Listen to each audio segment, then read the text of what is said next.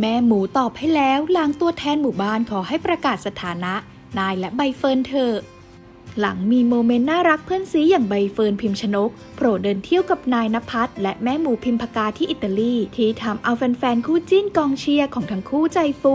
ขณะที่โลกโซเชียลมีการแชร์ภาพชาวเน็ต comment เป็นตัวแทนชาวบ้าน บอกว่าประกาศเถอะคิดว่าทำบุญกับแฟนคลับ พร้อมทั้งบอกว่าcomment ตัวแทนหมู่บ้าน คนเชียร์เยอะมากแม่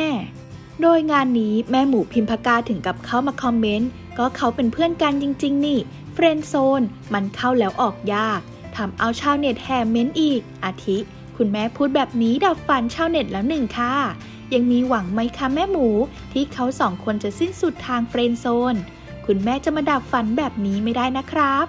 แม่อย่าดับฝันแฟนคลับแบบนี้สิคะ แม่ สิ้นสุดทางเพื่อนได้แล้วค่ะ แม่ไปขอใบให้นายเถอะค่ะ แม่ อีอีสมหวังสักที แม่หมูดับฝันพวกเรา หนูรู้นะ แม่หมูก็เชื่อเหมือนกัน แม่เขาไม่ได้เป็นเพื่อนกันได้เปล่าคะ